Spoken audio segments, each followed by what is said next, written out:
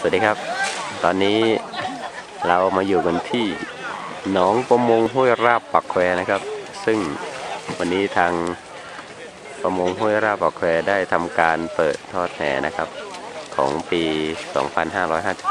2555อันนี้ก็เป็นเวลา 2 โมงนะครับเพิ่งได้เวลาทำการเปิดทอดแหแล้วครับเราบรรดาเซียนแหครับที่มาจากทั่วราชอาณาจักรก็จะมาพร้อมกันที่นี่นะครับ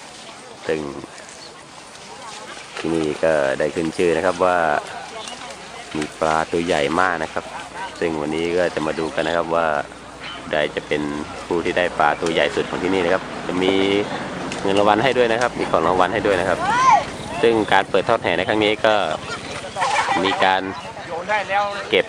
ค่าแห่กันนะครับเขาเรียกเอ่อเอ่อเนี่ยครับเป็นเป็นคนนะครับเป็นเป็นปากนะครับ ปากละร้อยห้าสิบบาทนะครับ ซึ่ง ได้ปลาตัวเดียวก็คุ้มแล้วครับเหมือนเช่นคนนู้นนะครับเห็นแบบเมื่อกี้ได้ปลาขาวตัวใหญ่มากนะครับตัวเดียวก็คุ้มแล้วนะครับ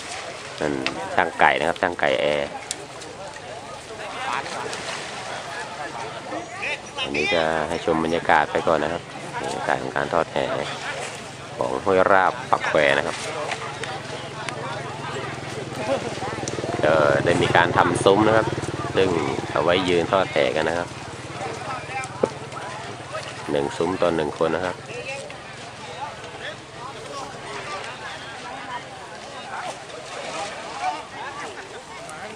อันนี้เป็นบรรยากาศช่วงเช้าอยู่นะครับสองโมงเช้าครับซึ่งได้ทำพิธีเปิดยิงพุไปเมื่อสักครู่นี้นะครับ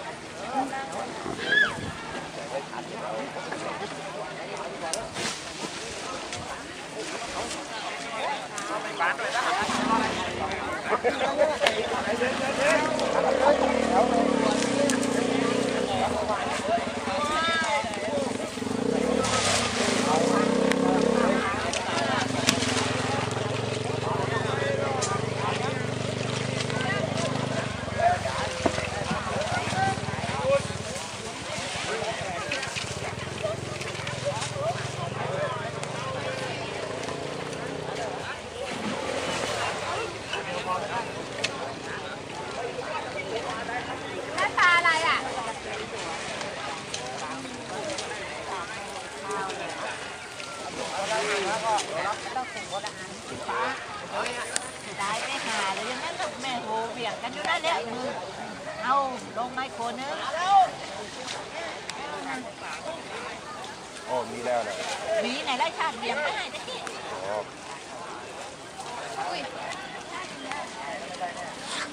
หนักไปนะเตรียมรับที่ลูกแม่สาวยืมไปไง